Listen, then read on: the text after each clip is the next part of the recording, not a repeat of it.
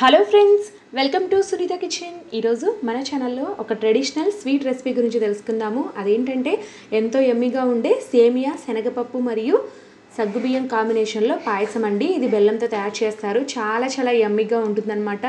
ఈ పాయసాన్ని ఎక్కువగా రాయలసీమ ప్రాంతాల్లో చేస్తూ ఉంటారండి. చాలా చాలా అద్భుతంగా ఉంటుంది. టేస్ట్ మాత్రం టేస్ట్తో పాటు హెల్త్కి కూడా చాలా మంచిదండి. ఇందులో సగ్గుబియ్యం శనగపప్పు బెల్లం వీటన్నిటితో కలిపి చేస్తారు కాబట్టి మంచి బలాన్ని ఇస్తుందన్నమాట శరీరానికి. పండగల టైంలోనే కాకుండా రెగ్యులర్గా కూడా మనం చేసుకొని హ్యాపీగా తినేసేయచ్చు. ఇప్పుడు తయారీ విధానాన్ని సింపుల్గా చూసేద్దాము. ముందుగా అయితే నేను ఇక్కడ ఒక టీ గ్లాస్ శనగపప్పు అలాగే ఒక టీ గ్లాస్ సగ్గుబియ్యం తీసేసుకొని వీటిని శుభ్రంగా కడిగి ఒక గంట పాటు నానబెట్టానండి.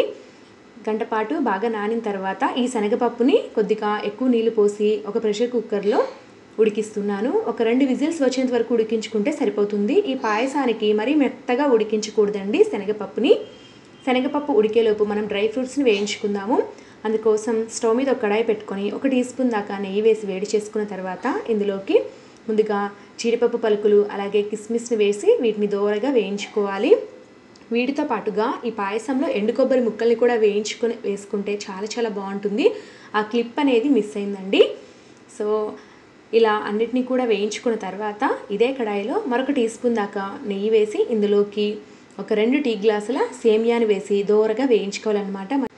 సేమియా బాగా దోరగా వేగిన తర్వాత దీన్ని పక్కకు తీసి పెట్టుకుందాము. ఇప్పుడైతే ఇదే కడాయిలోకి అర కేజీ బెల్లం వేసుకోవాలండి. మనం తీసుకున్న శనగపప్పు సగ్గుబియ్యం ఈ క్వాంటిటీకి అర కేజీ బెల్లం ఖచ్చితంగా పడుతుందండి. అలా అయితేనే స్వీట్ అనేది పర్ఫెక్ట్గా సరిపోతుంది. ఎక్కువ తక్కువ కాకుండా ఈ బెల్లంలోకి కొద్దిగా నీళ్ళు పోసి కరిగించుకోవాలన్నమాట. అంటే బెల్లంలో ఇసుక రేణువులు ఏవైనా ఉన్నా కూడా మనం ముందుగానే వడగట్టుకుంటే కాస్త కరిగించి బాగుంటుంది. ఇసుక అనేది రాకుండా ఉంటుందండి. సో ఈ టిప్ మీకు బాగా యూజ్ అవుతుందన్నమాట.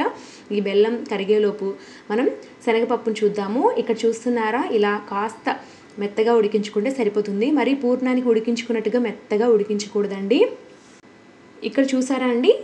బెల్లం అంతా కూడా పూర్తిగా కరిగిపోయింది. ఇప్పుడైతే ఈ నీళ్ళని మనం పాయసం ఏ పాత్రలో లేదా ఏ కడాయిలో చేయాలనుకుంటున్నామో అందులోకి వడగట్టుకోవాలి. ఇలా చేయడం వల్ల బెల్లంలో ఉన్న ఇసుక రేణువులు ఏవైనా డస్ట్ ఉంటే అంతా కూడా మనం ఈజీగా తీసేయొచ్చు అనమాట లేకపోతే అక్కడక్కడ ఇసుక తగిలినట్టుగా అవుతుందండి. సో ఈ టిప్ మీకు బాగా యూజ్ అవుతుంది. ఈ బెల్లం నీళ్ళని ఇలాగా ఒక కడాయిలోకి వేసుకున్న తర్వాత తగినన్ని నీళ్ళు పోసుకోవాలి. అంటే మనం సేమియా సగ్గుబియ్యం వీటన్నిటిని కూడా ఉడికించుకోవాలి కాబట్టి కాస్త ఎక్కువ నీళ్ళు పోసుకోండి నేను ఇక్కడ అర లీటర్ పైనే పోసానండి. ఇప్పుడైతే ఇందులోకి ముందుగా నేతిలో వేయించి పెట్టినటువంటి సేమియాని అలాగే నానబెట్టి పెట్టుకున్న సగ్గుబియ్యంని కూడా వేసేసుకొని ఉడికించుకోవాలన్నమాట. నేను ఇక్కడ లావు సగ్గుబియ్యం వాడుతున్నానండి. ఇవైతేనే పాయసానికి చాలా బాగుంటుందన్నమాట. సన్నగా ఉన్న సగ్గుబియ్యం కూడా వాడచ్చు కానీ ఎక్కువగా నేను ఇవే యూజ్ చేస్తాను. సో దీంతోనే మీకు చూపిస్తున్నానండి. ఇప్పుడైతే కొన్ని నిమిషాల పాటు మనం బాగా ఉడికించుకోవాలన్నమాట.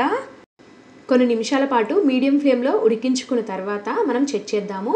మనం వేసిన సగ్గు బియ్యం సేమియా చక్కగా ఉడికిపోయాయి చూడండి. ఇలా ఉడికితే సరిపోతుందండి.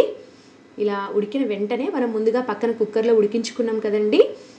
శనగపప్పుని కూడా ఇక్కడ యాడ్ చేసేసుకోవాలి. శనగపప్పుని ఆల్రెడీ ఉడికించేసాం కాబట్టి ఇక ఎక్కువసేపు ఈ పాయసాన్ని ఉడికించాల్సిన అవసరం ఉండదన్నమాట. శనగపప్పు వేసిన తర్వాత ఒక్కసారి కలుపుకొని ఈ పాయసానికి మంచి ఫ్లేవర్ రావడం కోసం ఇక్కడ నేను యాలకుల పొడిని ఒక టీ స్పూన్ దాకా యాడ్ చేస్తున్నాను. కాస్త ఎక్కువ క్వాంటిటీ కాబట్టి యాలకుల పొడి కూడా కాస్త ఎక్కువ పడుతుంది. మంచి ఫ్లేవర్ ఉంటుందన్నమాట. యాలకుల పొడి వేసి బాగా కలుపుకున్న తర్వాత ఇప్పుడు రెండు కప్పుల పాలని వేసుకోవాలి. ఈ పాలు ముందుగానే కాచి చల్లార్చానండి. కాచిన పాలైతే మనకి పాయసం అనేది చాలా క్విక్గా అయిపోతుంది. అదే మనం పచ్చిపాలు యాడ్ చేసామంటే మరలా చాలాసేపు మరిగించాల్సి ఉంటుందన్నమాట. సో ఇక్కడ చూస్తున్నారు కదా ఇలా మీకు కన్సిస్టెన్సీ ఏ విధంగా ఉండాలి కాస్త జారుడుగా ఉండాలా లేదా బాగా థిక్గా ఉండాలా దీన్ని బట్టి పాలు అనేది యాడ్ చేసుకోవాలి. సో నేను అందుకే కొలత అనేది చెప్పలేదండి పాల క్వాంటిటీ అనేది. అదేవిధంగా ఇందులోకి చిటికెడు అంటే చిటికెడు ఉప్పు కూడా వేసుకోండి. పాయసం చివరిలో ఇలా యాడ్ చేసుకోవడం వల్ల దీని టేస్ట్ అనేది చాలా అద్భుతంగా ఉంటుందన్నమాట. మనం తినేటప్పుడు కూడా ఎంత తిన్నా కూడా వెగటు కొట్టకుండా ఉంటుందండి.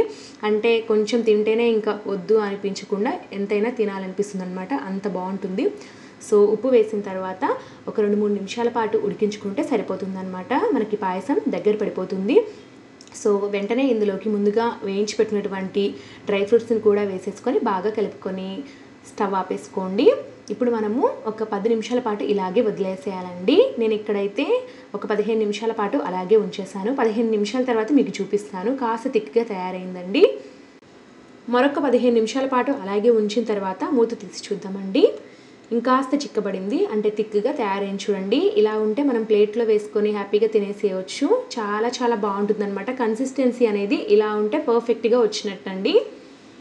సో ఇలా ఉంటే చాలా చాలా బాగుంటుందన్నమాట. పిల్లల దగ్గర నుండి పెద్దల వరకు అందరూ కూడా లైక్ చేస్తారు. ఈ సేమియా శనగపప్పు సగ్గుబియ్యం పాయసాన్ని రాయలసీమ ప్రాంతాల్లో ఎక్కువగా దేవాలయాల్లో ప్రసాదంగా వడ్డిస్తూ ఉంటారండి. చాలా అద్భుతంగా ఉంటుంది. టేస్ట్ మాత్రం సో నేను చూపించిన టిప్స్తో ఈ పాయసాన్ని తయారు చేసుకోండి. మీకు కూడా పర్ఫెక్ట్గా వస్తుంది. ఫస్ట్ టైం చేసినా కూడా చాలా అద్భుతమైన రెసిపీ అండి. ఇది టేస్ట్తో పాటు మన హెల్త్కి కూడా చాలా మంచిదన్నమాట. సో రెగ్యులర్గా కూడా తీసుకోవడానికి ట్రై చేయండి. సో ఫ్రెండ్స్ చూసారు కదా ఎంతో ఎమ్మిగా ఉండే ఈ పాయసం కనుక మీకు నచ్చినట్లయితే ఇలాంటి మరెన్నో టేస్టీ రెసిపీస్ కోసం నా ఛానల్ని సబ్స్క్రైబ్ చేసుకోండి. Thank you for watching.